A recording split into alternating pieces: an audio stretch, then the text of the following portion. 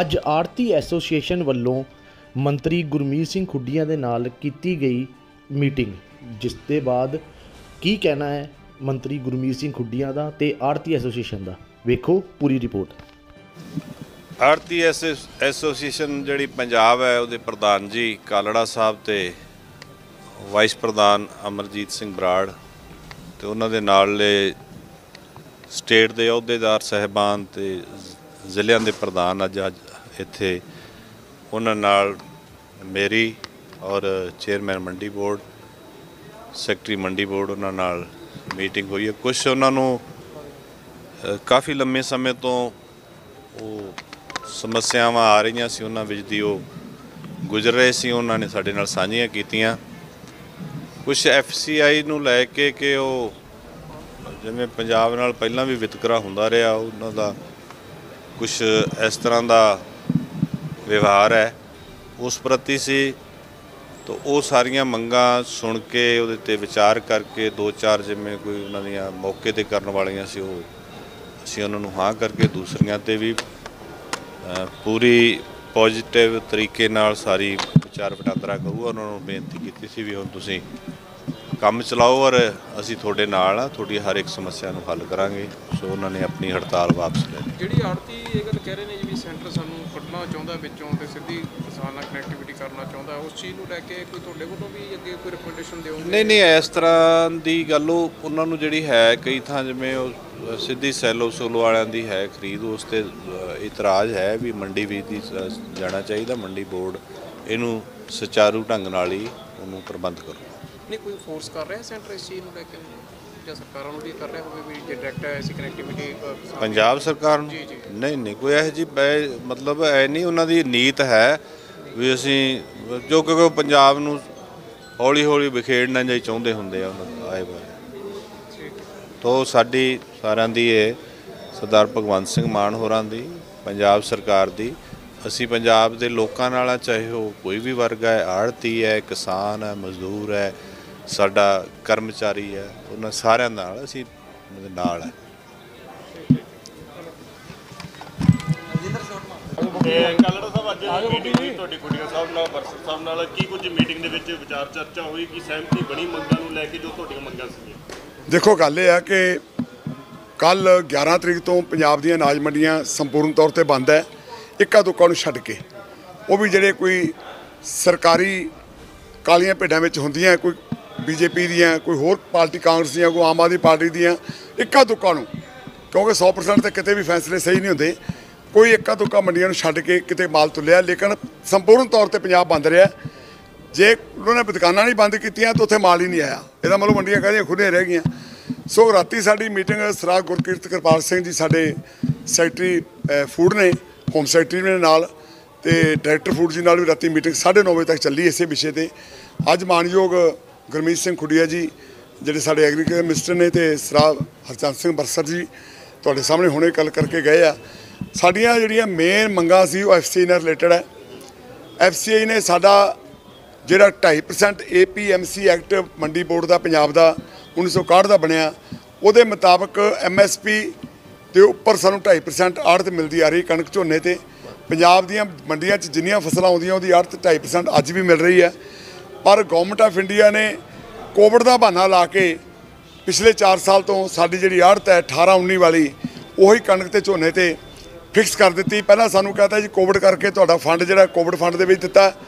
ਸਾਲ ਦੋ ਸਾਲ ਬਾਅਦ ਗੱਲ ਨਿਕਲ ਕੇ ਆਈ ਵੀ ਨਹੀਂ ਕਮਿਸ਼ਨ ਇਹਨਾਂ ਨੇ ਫੈਸਲਾ ਕਰ ਲਿਆ ਕਿ 18 19 ਵਾਲੇ ਅੱਗੇ ਮਿਲੇਗਾ। ਐਮਐਸਪੀ ਹਰ ਸਾਲ ਵਧੇਗੀ, ਪਰ ਤੁਹਾਡਾ ਜਿਹੜਾ ਕਮਿਸ਼ਨ ਹੈ, ਉਹ ਮਿਲੇਗਾ 45 ਰੁਪਏ 88 ਪੈਸੇ।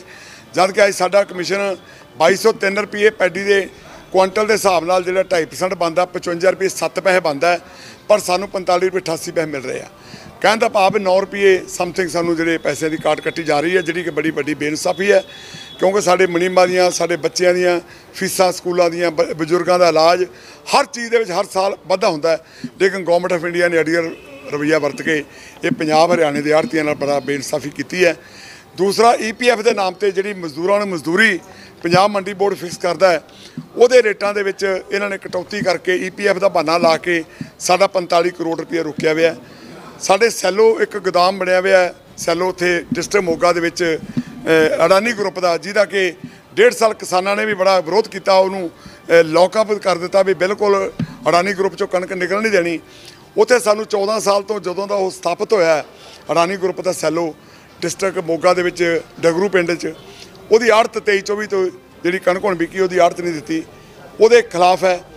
ਉਹਦੇ ਨਾਲ ਨਾਲ ਪੰਜਾਬ ਸਰਕਾਰ ਨਾਲ ਰਿਲੇਟਡ ਇੱਕ ਬੜਾ ਵੱਡਾ ਇਹਨਾਂ ਨੇ ਕੇਂਦਰ ਸਰਕਾਰ ਦੇ ਕਹਿਣ ਤੇ ਪੰਜਾਬ ਦੀਆਂ ਮੰਡੀਆਂ 'ਚ ਬਾਇਓਮੈਟ੍ਰਿਕ ਮਸ਼ੀਨਾਂ ਜਾਰੀ ਕਰਤੀਆਂ ਵੀ ਕਿਸਾਨ ਜਦੋਂ ਆਉਂਦਾ ਫਸਲ ਵੇਚਣ, ਉਹਦਾ ਅੰਗੂਠਾ ਲਵਾਓ। ਜਦ ਕਿ ਕਿਸਾਨ ਤਾਂ ਬਜ਼ੁਰਗ ਵੀ ਹੈ, ਬੱਚੇ ਉਹਨਾਂ ਦੇ ਬਾਹਰ ਕੈਨੇਡਾ, ਅਮਰੀਕਾ ਸਟ- ਦੂਜੀਆਂ ਦੇਸ਼ਾਂ 'ਚ ਗਏ ਆ, ਉਹ ਆਪ ਆਉਂਦਾ ਨਹੀਂ। ਉਹ ਆਪਣੇ ਸੀਰੀ ਨੂੰ ਭੇਜ ਦਿੰਦਾ ਜਾਂ ਗੁਆਂਢੀ ਨੂੰ ਕਹਿੰਦਾ ਵੀ ਫਸਲ ਆ ਗਈ, ਚੱਲ ਯਾਰ ਵੇਚਦੀ। ਲੇਕਿਨ ਇਹ ਕੰਮ ਬੜਾ ਮੁਸ਼ਕਲ ਦੇ ਵਿੱਚ ਇਹਨਾਂ ਪਾਤਾ।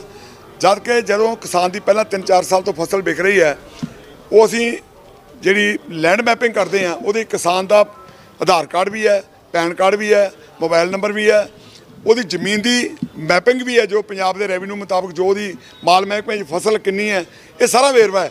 ਤੇ ਪੈਸੇ ਵੀ ਕਿਸਾਨ ਦੇ ਅਕਾਊਂਟ ਜਾਂਦੇ ਆ, ਪਰ ਪਤਾ ਨਹੀਂ ਕਿਉਂ ਇਹ ਪੰਜਾਬ ਸਰਕਾਰ, ਕੇਂਦਰ ਸਰਕਾਰ ਦੀ ਕਠਪੁਤਲੀ ਬਣ ਕੇ ਬਾਇਓਮੈਟ੍ਰਿਕ ਮਸ਼ੀਨਾਂ ਸ਼ੁਰੂ ਕਰਤੀਆਂ। ਪੰਜਾਬ ਦੇ ਬਹੁਤ ਸਾਰੀਆਂ ਮੰਡੀਆਂ ਦੇ ਵਿੱਚ ਵਾਈਫਾਈ ਹੈ ਨਹੀਂ ਅਸੀਂ ਉਹਨਾਂ ਨਾਲ ਇਹ ਗੱਲ ਕੀਤੀ ਹੈ। ਪਹਿਲੇ ਦਿਨ ਵੀ ਅਸੀਂ ਕੀਤੀ ਸੀ ਵੀ ਅਸੀਂ ਬਾਇਓਮੈਟ੍ਰਿਕ ਮਸ਼ੀਨਾਂ ਯੂਜ਼ ਨਹੀਂ ਕਰਨੀਆਂ ਅੱਜ ਮਾਨਯੋਗ ਮੰਤਰੀ ਜੀ ਨੇ ਤੇ ਚੇਅਰਮੈਨ ਮੰਡੀ ਬੋਰਡ ਜੀ ਨੇ ਇਹ ਗੱਲ ਕਹੀ ਆ ਵੀ ਅਸੀਂ ਸ਼ਾਮ ਤੱਕ ਬਾਇਓਮੈਟ੍ਰਿਕ ਦੀ ਵੀ ਗੱਲ ਕਰਕੇ ਜਿਹੜੀਆਂ ਪੰਜਾਬ ਦੀਆਂ ਚੰਦ ਮੰਡੀਆਂ 'ਚ ਉਹਨੂੰ ਅਸੀਂ ਬੰਦ ਕਰਾਂਗੇ। ਨਾਲ ਮੈਂ ਤੁਹਾਡੇ ਰਾਹੀਂ ਇਹ ਦੱਸਣਾ ਚਾਹੁੰਦਾ, ਜੇ ਪੰਜਾਬ ਸਰਕਾਰ ਨੇ ਬੰਦ ਨਾ ਕੀਤੀਆਂ, ਤਾਂ ਸਾਡੇ ਵੱਲੋਂ ਬਾਇਓਮੈਟ੍ਰਿਕ ਮੀਟਰ ਮਸ਼ੀਨਾਂ ਦਾ ਸੰਪੂਰਨ ਬਾਈਕਾਟ ਹੈ। ਚਾਹੇ ਖਰੀਦ ਹੋਵੇ ਨਾ ਹੋਵੇ, ਖਰੀਦ ਕਿਸਾਨਾਂ ਦੀ ਫਸਲ ਦੀ ਕਰਨੀ ਸਰਕਾਰ ਦਾ ਮੁੱਢਲਾ ਫਰਜ਼ ਹੈ। ਅਸੀਂ ਤਾਂ ਇੱਕ ਸੇਵਾ ਦੇਣੀ ਉਹਨੂੰ। ਉਹਦੀ ਸੇਵਾ ਦੇ ਵਿੱਚ ਅਸੀਂ ਕਮਿਸ਼ਨ ਲੈਂਦੇ ਆ ਜਿਹੜੀ ਅਸੀਂ ਸਰਵਿਸਿਜ਼ ਪ੍ਰੋਵਾਈਡਡ ਕਰਦੇ ਆ ਇਸ ਕਰਕੇ ਬਾਇਓਮੈਟ੍ਰਿਕ ਮਸ਼ੀਨਾਂ ਅਸੀਂ ਬਿਲਕੁਲ ਯੂਜ਼ ਨਹੀਂ ਕਰਾਂਗੇ। ਕੋਈ ਵੀ ਸਾਡਾ ਆੜਤੀ ਆ ਉਹਦੇ 'ਚ ਕੋਈ ਸਹਿਯੋਗ ਨਹੀਂ ਪੰਜਾਬ ਸਰਕਾਰ ਨੂੰ ਕਰੇਗਾ।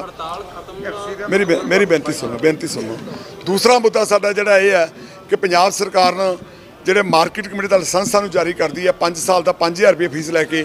ਅਸੀਂ ਅੱਜ ਉਹਨਾਂ ਨੂੰ ਗੱਲ ਕਹੀ ਸੀ ਵੀ ਇਹ ਲਾਇਸੈਂਸ ਵੈਟ ਤੇ ਜੀਐਸਟੀ ਦੀ ਤਰ੍ਹਾਂ ਪੂਰੀ ਜ਼ਿੰਦਗੀ ਦਾ ਹੋਣਾ ਚਾਹੀਦਾ ਫਾਰ ਲਾਈਫ ਤੇ ਪੂਰੇ ਪੰਜਾਬ ਵਾਸਤੇ ਹੋਣਾ ਚਾਹੀਦਾ।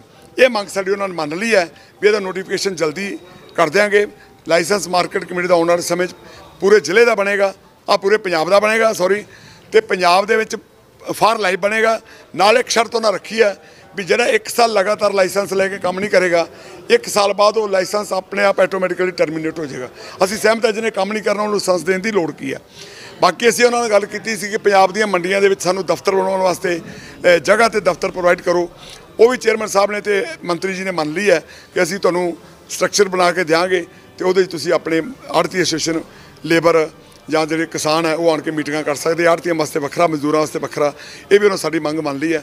ਰਹਿ ਗਈ ਗੱਲ ਵੀ ਐਫਸੀ ਨਾਲ ਰਿਲੇਟਡ ਜਿਹੜੇ ਮਸਲੇ ਆ, ਉਹਦੇ 'ਚ ਉਹਨਾਂ ਨੇ ਗੱਲ ਕਹੀ ਹੈ ਕਿ ਅਸੀਂ 10 ਦਿਨ ਦੇ ਵਿੱਚ ਵਿੱਚ ਜਿਹੜਾ ਈਪੀਐਫ ਦਾ 45 ਕਰੋੜ ਰੁਪਏ ਰੁਕਿਆ ਸੈਲੋ ਦੇ ਜਿਹੜੇ ਰੁਪਏ ਨਹੀਂ ਸਾਡੀ ਆੜਤ ਮੇਰੀ ਡਗਰੂ ਦੀ, ਅਡਾਨੀ ਗਰੁੱਪ ਦੀ, ਉਹ ਵੀ ਉਹਨਾਂ ਕਿਹਾ ਵੀ ਇੱਕ 10 ਦਿਨ ਦੇ ਵਿੱਚ ਵਿੱਚ ਤੁਹਾਡੀ ਆੜਤ ਵੀ ਦਵਾਵਾਂਗੇ।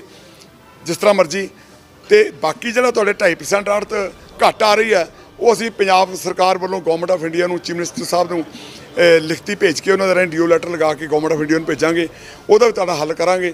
ਤਾਂ ਨਾਲ ਉਹਨਾਂ ਨੇ ਸਾਨੂੰ ਇਹ ਬੇਨਤੀ ਕੀਤੀ ਹੈ, ਮੰਤਰੀ ਜੀ ਨੇ ਸਾਰੇ ਹਾਊਸ ਦੇ ਵਿੱਚ ਕਿ ਤੁਸੀਂ ਇੱਕ ਵਾਰੀ ਕਿਸਾਨ ਹਿੱਤਾਂ ਨੂੰ ਮੁੱਖ ਰੱਖਦੇ ਹੋਇਆਂ ਆੜਤਾਂ ਤੇ ਜਿਹੜਾ ਕਿਸਾਨ ਫਸਲ ਲੈ ਕੇ ਆਉਂਦਾ ਉਹਨੂੰ ਵੇਚੋ।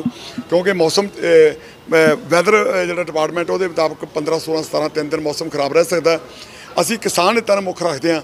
ਜਿਹੜੀ ਮੰਡੀਆਂ ਦੇ ਵਿੱਚ ਝੋਨਾ ਜਾਂ ਬਾਸਮਤੀ ਜਾਂ ਨਰਮਾ ਕਪਾਹ ਆ ਰਿਹਾ, ਉਹਨੂੰ ਖੋਲ੍ਹਣ ਦਾ ਫੈਸਲਾ ਕੀਤਾ ਹੈ। ਮਾਨਯੋਗ ਮੰਤਰੀ ਜੀ ਦੇ ਕਹਿਣ ਤੇ ਤੇ ਸਰਦਾਰ ਗੁਰਕੀਰਤ ਕਿਰਪਾਲ ਸਿੰਘ ਜੀ ਨੇ ਵੀ ਸਾਨੂੰ ਰਾਤੀ ਇਹ ਕਿਹਾ ਸੀ ਕਿ ਤੁਸੀਂ ਹੜਤਾਲ ਖੋਲ੍ਹ ਦਿਓ, ਮੰਤਰੀ ਜੀ ਤੁਹਾਡੇ ਨਾਲ ਮੀਟਿੰਗ ਕਰਨਗੇ। ਤੇ ਚੇਅਰਮੈਨ ਪੰਜਾਬ ਮੰਡੀ ਬੋਰਡ ਨੇ ਵੀ ਸਾਨੂੰ ਵਿਸ਼ਵਾਸਨ ਦਵਾਇਆ। ਪੰਜਾਬ ਨਾਲ ਰਿਲੇਟਡ ਉਹਨਾਂ ਨੇ ਮੰਗਾਂ ਮੰਨ ਲਈਆਂ ਇਮੀਡੀਏਟ ਬਾਕੀ ਜਿਹੜੀਆਂ ਮੰਗਾਂ ਨੇ ਉਹਨਾਂ ਕਿਹਾ ਵੀ ਜਲਦੀ ਤੁਹਾਡੀਆਂ 10 ਦਿਨ ਦੇ ਵਿੱਚ ਹੱਲ ਕਰਾ ਦਾਂਗੇ। ਤਾਂ ਅਸੀਂ ਉਹਨਾਂ ਦੇ ਵਿਸ਼ਵਾਸਨ ਨੂੰ ਮੁੱਖ ਰੱਖਦੇ ਹਾਂ। ਉਹਨਾਂ ਨੇ ਕਿਹਾ ਵੀ ਸਾਡੀ ਜ਼ਬਾਨ ਤੇ ਇਤਬਾਰ ਕਰੋ।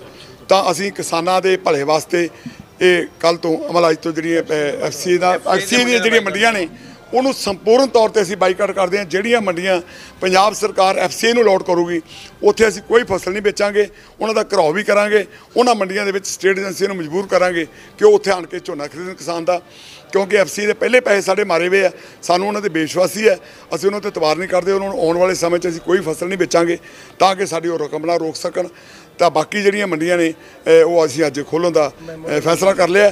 ਤੇ ਹਾਂ? ਮੈਮੋਰੈਂਡਮ ਦੇ ਸਾਹਿਬ ਨੂੰ ਬਾਕੀ ਅਸੀਂ ਅੱਜ ਹੁਣੇ ਨਾਜ ਭਵਨ ਚੱਲੇ ਆ। ਸੈਕਟਰੀ ਸਾਹਿਬ ਨੂੰ ਬੇਨਤੀ ਕਰਾਂਗੇ ਡਾਇਰੈਕਟਰ ਸਾਹਿਬ ਨੂੰ ਵੀ ਜਿੱਥੇ ਪੰਜਾਬ ਦੀਆਂ ਮੰਡੀਆਂ ਦੇ ਵਿੱਚ ਐਫਸੀ ਲੋਟ ਕੀਤੀ ਆ, ਉਹਨੂੰ ਤੁਰੰਤ ਵਾਪਸ ਲੈ ਕੇ ਉਹ ਸਟੇਟ ਏਜੰਸੀ ਨੂੰ ਜਿਹੜੀਆਂ ਏਜੰਸੀਆਂ ਉਹ ਮੰਡੀਆਂ ਦੇ ਦਿੱਤੀਆਂ ਜਾਣ।